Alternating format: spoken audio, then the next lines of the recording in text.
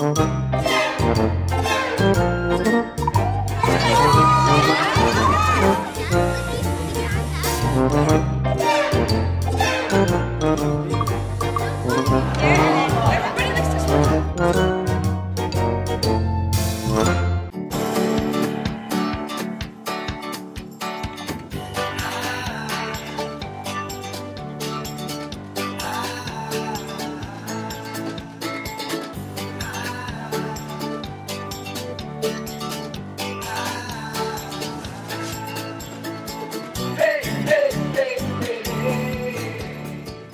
Good morning and welcome to Burke Bunch Moments.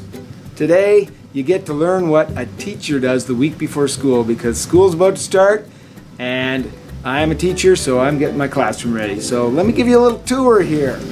Now my classroom's a little bit unique because I am in a double-sized portable outside of the school. This is my classroom side. I have grades 4 and grade 8s come out here for language arts and math. But the cool thing is the other side. It's the reason I'm wearing a hard hat, because on the other side, I also teach science and technology to grades 4 to 8. And this is the shop side, the coolest classroom in the school. On this side, I've got tools and machines, and you name it, it's over here. This is the bandsaw. Only the grade 8s get to use this. Don't want any of those little grade 4s chopping fingers off or anything. So the grade 8, though they're probably more trustworthy than some of my grade 8s were. Uh, anyway, this year, the grade 8s only. These things are called spindle sanders. Kids use it to sand their, sand their wood. Grade six, seven, eight can use those ones. These are the scroll saws, the workhorse of the shop. And uh, grade 7s and 8s can use that. They chop and cut and slice. These things are the drill presses. I've got three of those. Six, seven, eights. Uh, any of those guys who use these.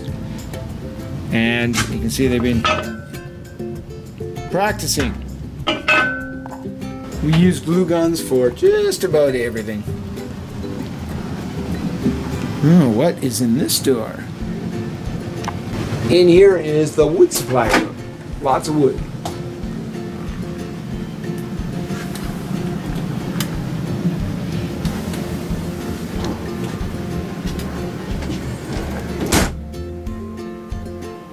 Lots of stuff to build with. Keep those kids busy and technical. Alright, coming out here. Safety glasses. Safety first. And another little secret room, the supply room.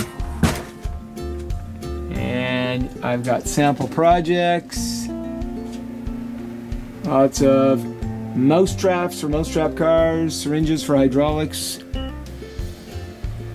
lots of cool stuff. You'll notice on my channel a whole bunch of different videos about uh, building cars and whatnot, and this is where they're all built. This is the shop. So make sure you check those out. There's some pretty cool projects.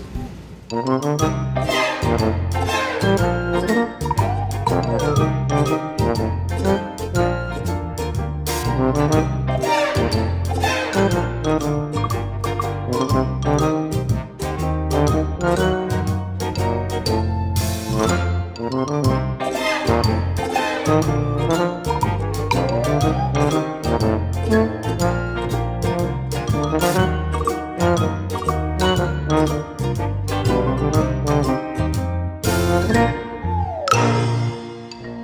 Kids uh, seem to enjoy coming out here. They get to do things they never get to do uh, anywhere else.